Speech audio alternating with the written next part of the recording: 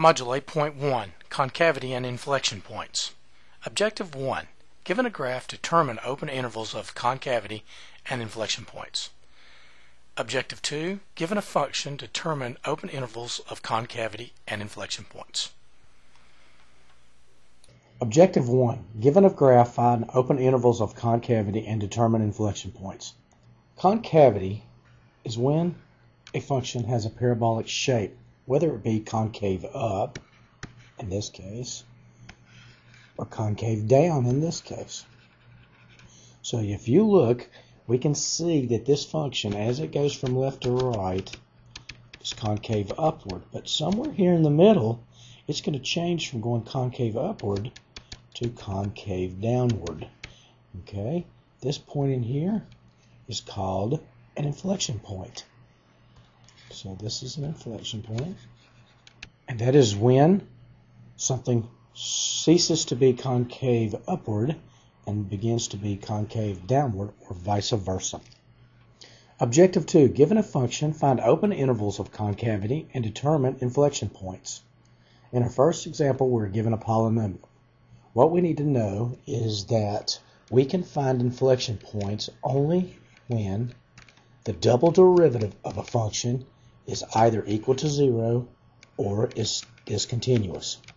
Okay, if that's the case, let's go through and let's find the second derivative of this function so we can find this inflection point. Okay, so our first derivative is going to be negative 4x to the third power plus 108x squared minus 36. Okay, that's our first derivative. And our second derivative would be the derivative of that, which would be negative 12x squared plus 216x, and then obviously the 36 goes away. To find our inflection point, we need to find places where f double prime of x, or the second derivative, is either equal to 0 or is discontinuous. So what we need to do, since this is a polynomial, we don't have to worry about discontinuity. So we're going to take negative 12x squared plus 216x and set it equal to 0 since it's only hope finding an inflection point. So let's, let's factor out a negative 12x, and that would leave me with a positive x minus 18 is equal to 0. Separate them, so minus 12x is equal to 0, and x minus 18 is equal to 0. So this one would be x is equal to 0. Would be one possible point and we're going to add 18 to both sides here and this would give us another point. So now we can partition off a number line, number line going in both directions. We've got from negative infinity all the way up to 0 and we've got it up to 18 and so now we've got three regions. We've got region 1 here, 2 here, and 3 here. Okay, so we need to do some test points and find out exactly what's going on with the double derivative. So in area 1, let's pick a number that is negative, so that would be in region 1. Now remember, our double derivative is the negative 12x squared plus 216x. So if I put a negative in, that'd be a negative 12. Let's, let's put in a negative 1. Negative 1 squared plus 216 times negative 1. Notice that this number is going to end up giving me a negative, and that number is going to be a negative, and a negative plus a negative is going to give me a negative. So we're going to have a negative double derivative in region 1. All right, let's pick a number like 5, and let's try it in region 2.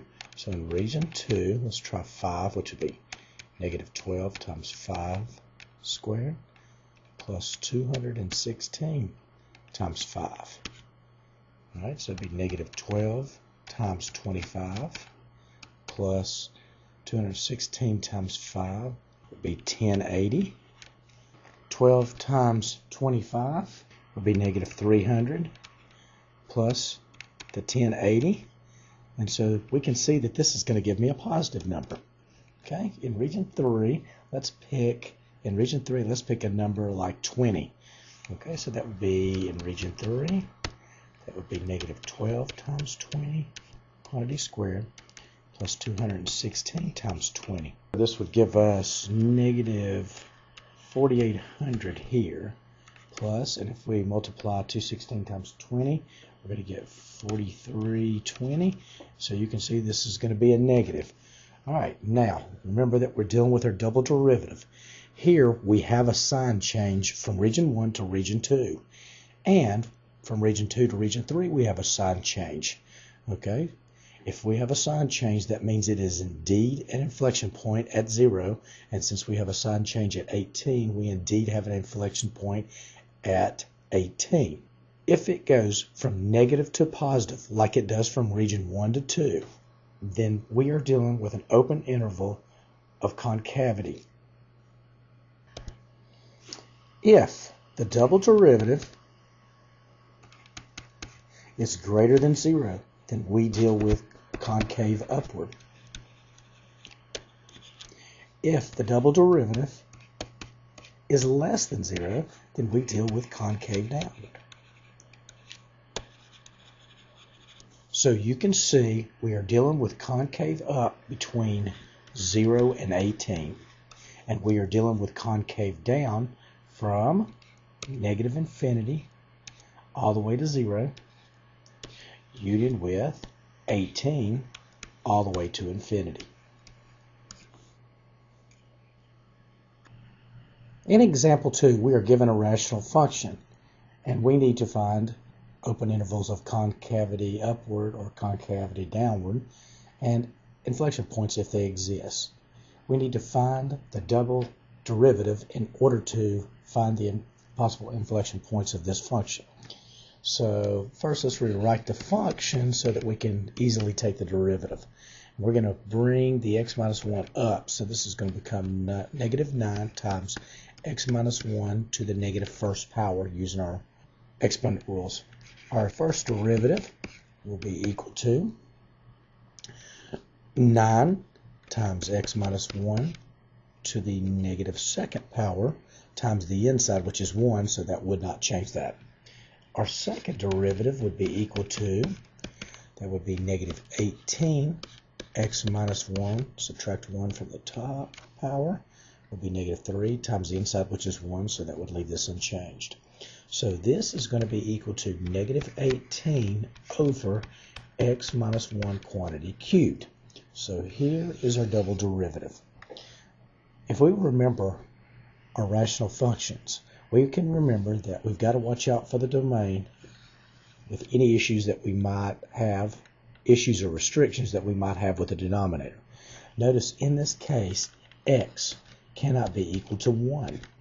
The problem is the only place where this double derivative would be equal to 0 or undefined would be at x equals 1, and that's when it is undefined. So what we're going to end up with is we're going to have a number line with x is equal to 1 on this. We know that it can't be equal to 1. So this will not have an inflection point because the only place that it could be 0 or, dis, or discontinuous would be at the x equal 1. So this will have no inflection point because the only place that we could have a point of inflection is at 1 and we can see from the function it is discontinuous. So that gets us two regions. We have region 1 and region 2 that we need to check for concavity. So let's take a let's take a number in region 1. Let's say the number 0, which would be over here somewhere, and we're going to plug it into the double derivative. So if we plug 0 into the double derivative, remember our double derivative is here, so that would be negative 18 over 0 minus 1 quantity cubed, which would be negative 18 over negative 1 quantity cubed which would be negative 18 over negative 1, which is 18. Notice that this is positive. So we know that we're dealing with concavity upward from negative infinity all the way to 1, where 1 is not included, right? Okay, let's try region 2. Let's pick a point like 2. So that would be, plugging it back into my double derivative, it would be negative 18 over 2 minus 1 to the third power, which is negative 18 over 1 cubed, which will give us a negative number. So here we're dealing with concave downward in region 2, that is from 1 to infinity. From negative infinity all the way up to 1, we are dealing with concave upward. And from 1 to infinity, we're dealing with concave downward. And this one has no inflection point. Example 3. We're given a function that has two things being multiplied together, so we're going to have to use the product rule, so that is uv prime plus u prime v, and we're also going to have to use the chain rule. We need to find intervals of concavity, and we need to find find an inflection point if it exists. Okay. First of all, we need to kind of be careful in this function because we do have a restriction in the domain. 5x must be greater than 0. So therefore, if we divide by 5 on both sides, so we now know that x must be greater than 0. So this is an important thing to kind of keep in mind as we go through and we're looking for our inflection points. Okay, so first let's take the first derivative of this function. And that would give us u, which is 7x squared, times the derivative of v, which is 1 over 5x, times the derivative of the inside, which is 5, plus, we're going to do the derivative of the first one, which is 14x, times the second one, which is the natural log of 5x. Okay, let's do some combining here. So notice that the 5's will cancel here, and we'll get rid of one of these x's right here, so that'll leave us with 1x with the 7 plus 14x times the natural log of 5x. Alright, and so now we have the first derivative. Okay, so now let's go for the second derivative. This will give us, easy enough in the beginning, will give us 7 plus, and here we go with the, the uh, product rule again.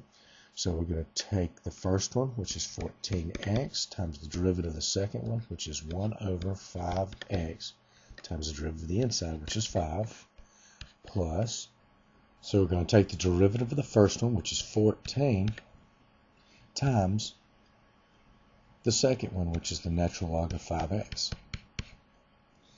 And so cleaning this up, we'll see that here, once again, the 5's cancel, and this time the x's will totally cancel. So it'll give us 7 plus 14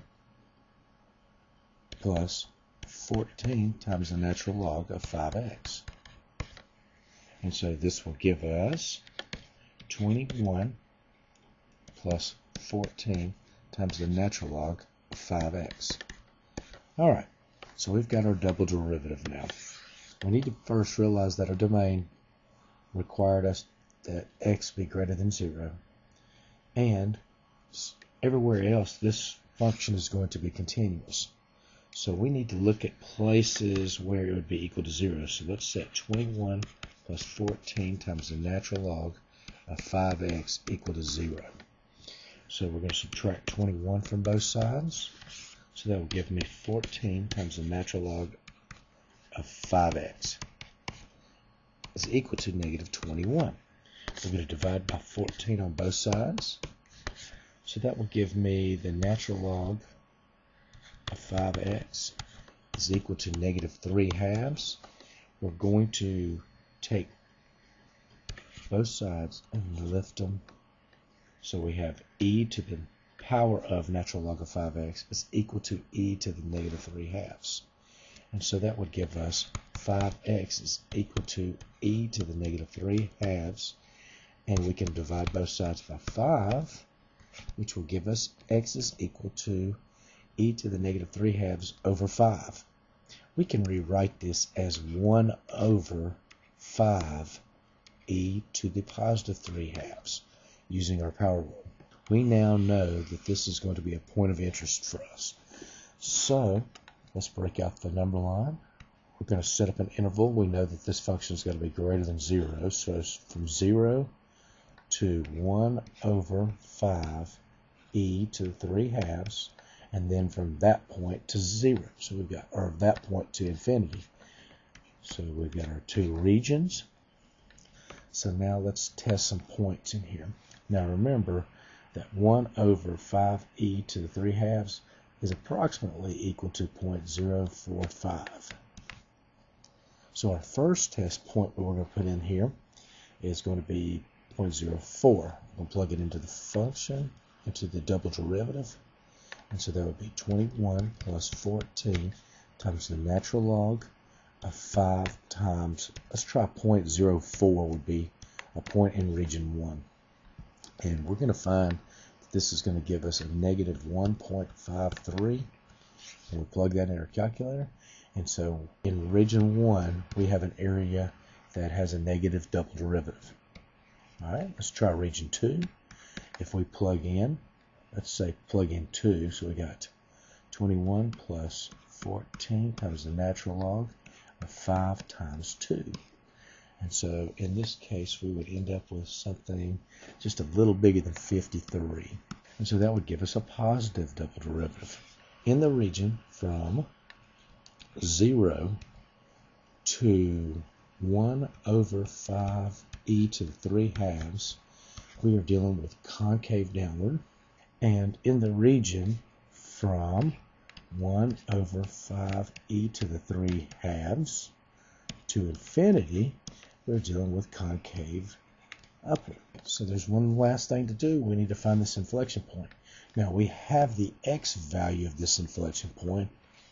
All we need to do is plug it back into the function and find our y value, and we'll have our inflection point. Okay? So let's start off. We have 7 times 1 over 5e to the 3 halves quantity squared times the natural log of 5, 1 over 5e to the 3 halves. If we square this, that'll give me 7 times 1 over, the 5 squared will be 25. e to the 3 halves squared will just give us e to the third power times the natural log. Notice that the 5's are canceled, which would give us the natural log of 1 over e to the 3 halves. Notice that this first one will give us 7 over 25 e to the third times, and the second one will give us the natural log of e to the negative 3 halves. And remember that one of our rules, one of our identities in natural logs was that if you have the natural log of e, that those would just kind of cancel out, and that would give us 7 over 25 e to the third power times negative 3 over 2, which would give us negative 21 over 25 times 2, which would be 50 e to the third power. And so our inflection point would be 1 over 5e to the 3 halves, comma, negative 21 over 50 e to the third.